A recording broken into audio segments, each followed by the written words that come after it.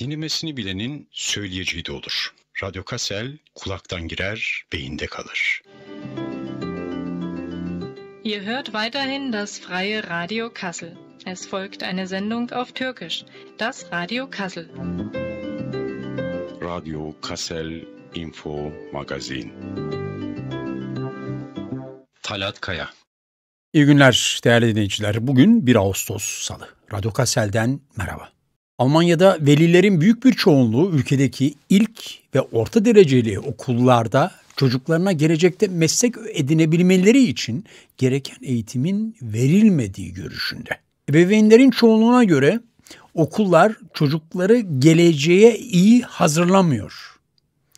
Köba Vakfı tarafından yaptırılan temsili bir Forsa anketine göre ebeveynler okul eğitimine büyük bir şüpheyle bakıyor. Ankette velilerin %72'si okullarda çocuklarının yeteneklerine göre ileride meslek sahibi olmalarına katkıda bulunacak eğitim verilmediği görüşünü paylaştığı belirlendi.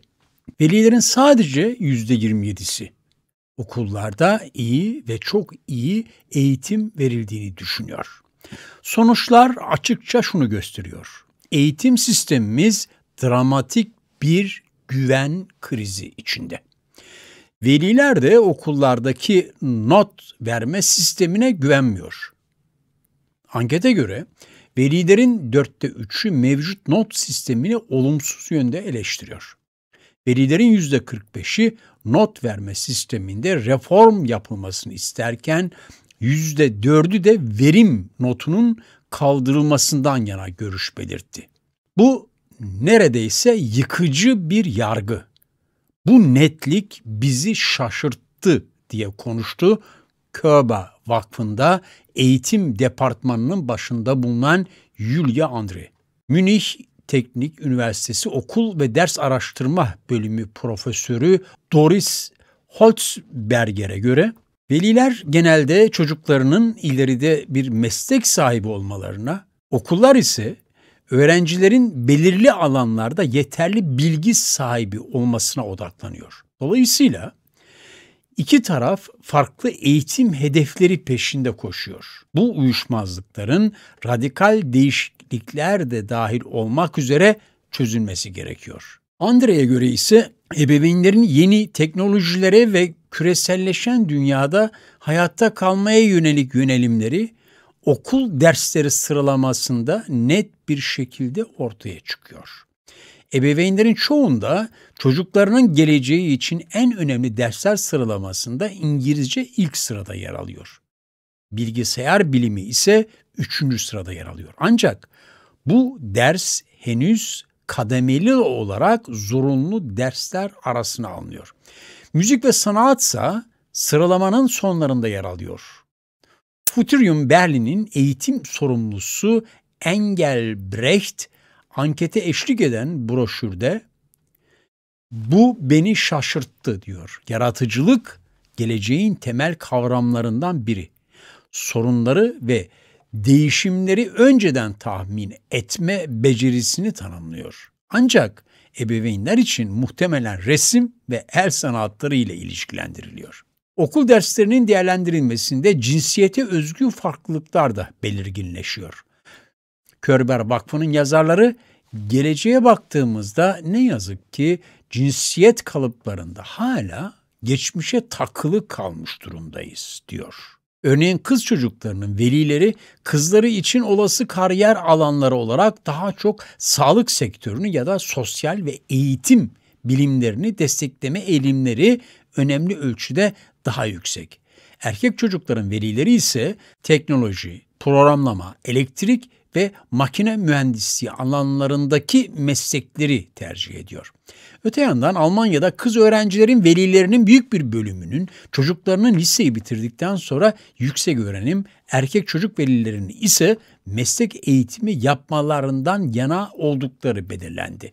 Lise diplomalı velilerin çoğunun ise çocuklarının liseyi bitirdikten sonra yüksek öğrenim görmelerinden yana olduğu da saptandı.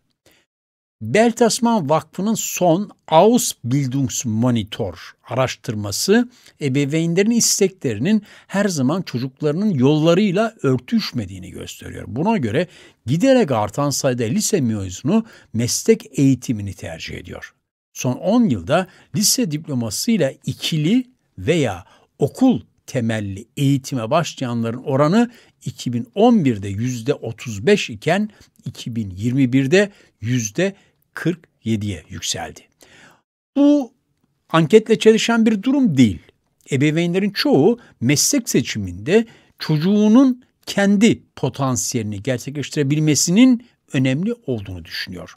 Kendisi de ebeveyn örgütlerinde yer alan sosyal bilimci Çağrı Kahveci bu değerlendirmenin eğitimsel gelişimin sosyal yapılara bağlı olduğunu göz ardı ettiğini söylüyor.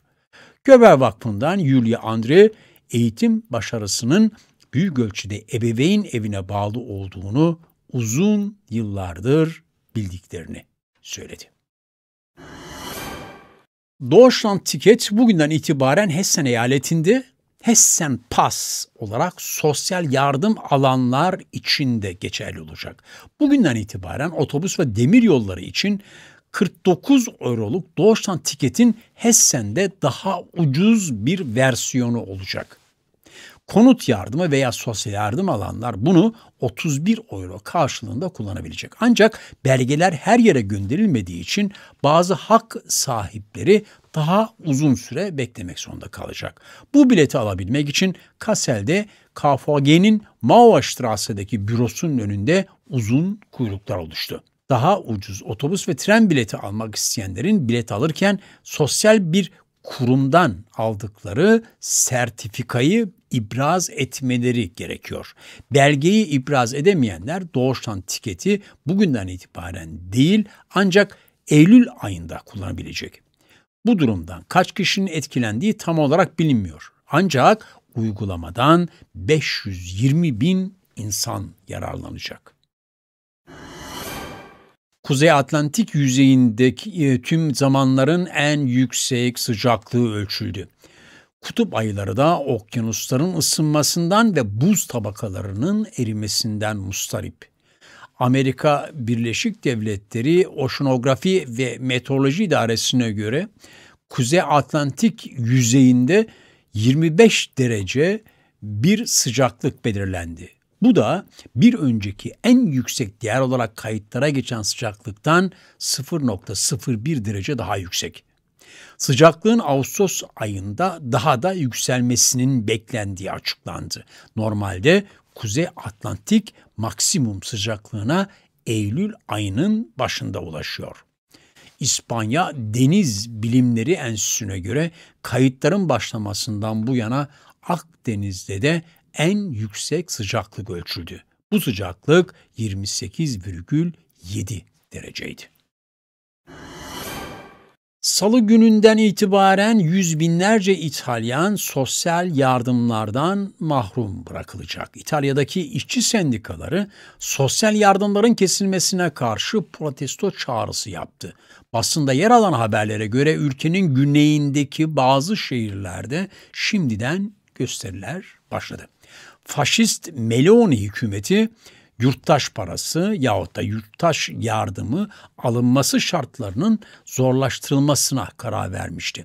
Buna göre gelecekte sadece küçüklerin, engellilerin ya da 65 yaş üstü yaşlıların yaşadığı hanelere devlet desteği verilecek. İtalya'da sosyal yardımın iptal edilmesinden yaklaşık 170 bin hane etkileniyor. Yeni tedbirlerden özellikle ülkenin güney kesimi daha fazla etkileniyor. Örneğin Napoli vatandaşlık parası alanların sayısının en yüksek olduğu kent durumunda. Sendikalar ve aktivistler kesintilere karşı protesto çağrısı yaptı. Bazı güney şehirlerinde insanlar Sosyal Hizmet Kurumu İNPS'nin ofisleri önünde bir araya geldi. Pazartesi günü basında yer alan haberlere göre Sicilya'nın Terracini kentinde belediye başkanının ofisine zorla giren işsiz bir adam benzin dökerek her şeyi ateşe vermekle tehdit etti. 2019'da vatandaş parası uygulamasını başlatan eski başbakan kararı en savunmasız kesimler pahasına yürütülen ideolojik savaş olarak nitelendirdi. Meloni'nin faşist hükümeti uzun zamandır yurttaş parasından rahatsızdı ve bu yardımdan yararlananların sayısının ve yardım harcamalarının ciddi ölçüde azaltılmasını istiyordu. Faşist Başbakan Meloni'nin kalbi beygir gücünden yana atıyor. Ferrari, Lamborghini ve Maserati hayranları için bedava bir yolculuk. Roma'daki faşist hükümet 10 yılı aşkın bir sürede yürürlükte olan 250 beygir gücünün üzerindeki otomobillere uygulanan özel vergiyi kaldırmak istediğini açıkladı. Uygulama Almanya'daki faşist parti AFD'nin iktidara gelmesi ya da iktidar ortağı olması durumunda neler olabileceğine güzel bir örnek olarak değerlendirildi. Yeraltı rezervleriyle göze çarpan Afrika ülkesi Nijer, geçtiğimiz hafta yaşanan darbenin ardından yeraltı kaynaklarının Fransa'ya ihracatını durdurdu. 26 Temmuz'da askeri darbeye sahne olan Nijer, yeraltı kaynaklarıyla dikkatleri üzerine çekiyor. Verilere göre dünyanın en büyük 7. uranyum üreticisi konumundaki Nijer, Avrupa Birliği'nin gerçekleştirdiği uranyum ithalatının %20'sini oluşturuyor. Uranyum nükleer enerji için en yaygın kullanılan yakıt ve ayrıca kanser tedavisinde, deniz itme gücünde ve nükleer silahlarda da kullanılıyor. Nijer 18 nükleer santrale sahip Fransa'da atom santrallerinin ihtiyaç duyduğu uranyumun yaklaşık %17'sini karşılıyor. Fransız devletine ait nükleer enerji şirketi Orano eski ismiyle Areva, Nijer devletiyle Sahra çölünde yer alan Arlit kenti yakınlarındaki açık ocak maden sahasını işletiyor. Buna karşın Avrupa Birliği de uranyum ihtiyacının %25'ini Nijer'den karşılıyor. Nijer, Kazakistan'ın ardından Avrupa Birliği'nin en büyük ikinci uranyum tedarikçisi olarak kabul ediliyor. Darbenin ardından söz konusu Afrika ülkesinde sömürgeci geçmişiyle bilinen Fransa bayrağı ateşe verildi. Değerli dinleyiciler, Radyo Kasel'in hazırlayıp sunduğu Info Magazin programını dinlediniz. Yarın aynı saate buluşuncaya kadar hoşçakalın. Her şey gönlünüzce olsun ama mutlaka merakla kalın. 105.8 Radyo Kassel. Her gün saat 16'da bu frekansta. Yerel, bölgesel ve Türkiye haberleriyle en yakın dostunuz. Radyolarınızı her gün saat 8'de ve 16'da Radyo Kasel'e ayarlamayı unutmayınız. Almanya'da yaşadığını mı hissetmek istiyorsun? Radyo Kassel dinleyeceksin.